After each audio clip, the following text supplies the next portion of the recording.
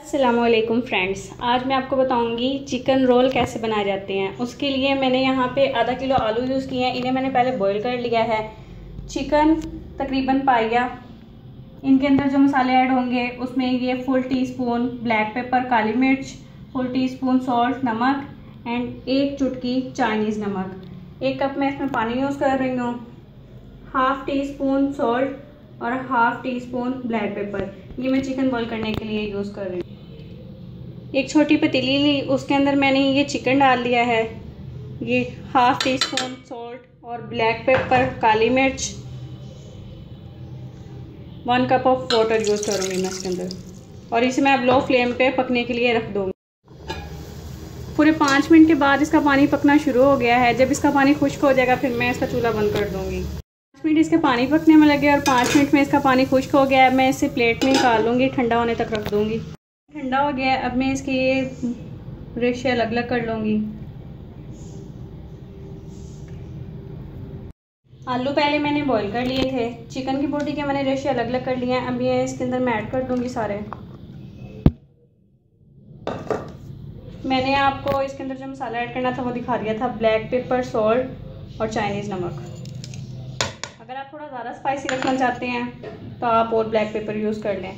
अब मैं इसे अच्छे से मैश कर लूँगी।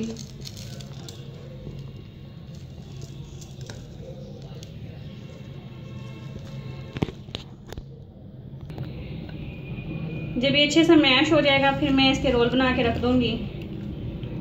अच्छे से मैंने इसका मिक्सचर तैयार कर लिया है। अब मैं इसके रोल बना लूँगी।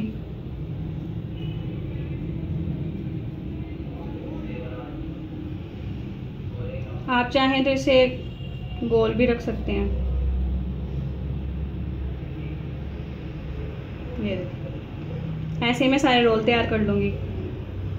चिकन रोल मैंने सारे बना के रख लिए हैं। दो अंडे लिए मैं, मैंने इसमें। इसमें मैं थोड़ा सा नमक डाल दूँगी। थोड़ी सी काली मिर्चें, ब्लैक पेपर, और इन्हें अच्छे से मिक्स कर लूँगी।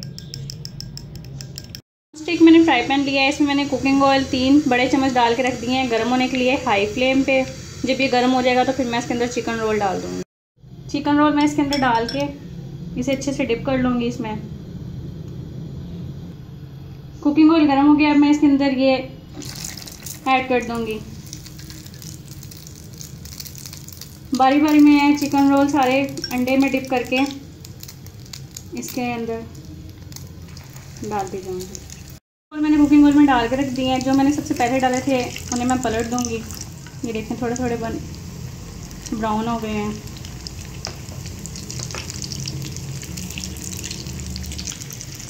ये सारे मैंने पलट दिए हैं। ये लाइट ब्राउन कलर हो गए हैं। मैंने लो फ्लेम पे रखने के लिए रख दिया है। मैंने नहीं जस्ट अंडे में डिप करके कुकिंग ऑयल में डाला। अगर आप चाहें तो इसमें मैदा भी लगा सकते हैं और डबल रोटी भी। हल्की आँच में मैंने इसे पकने के लिए रखे हुए हैं। जब ये अच्छी तरह से बन जाएँगे, फिर मैं इसका चूल्हा बंद कर दूँगी। इसे निकाल लूँगी। इन्हें लो फ्लेम पे बनाएँ तो ये ज़्यादा क्रिस्पी और मज़े के बनते हैं। इन्हें मैंने लो फ्लेम पे पकाया था। इन्हें साथ साथ चेक करते रहें ताकि नीचे से जल नहीं जाए। ये बन के तकरीबन तैयार हो गए हैं। कुछ अभी बनने वाले हैं। जो बन के तैयार हो गए हैं, उन्हें मैं निकाल दूँगी। डिश पे मैंने टिश्यू पेपर बिछाया, उसके अंदर मैं ये रोल निकाल लूँगी जो तैयार हो गए हैं।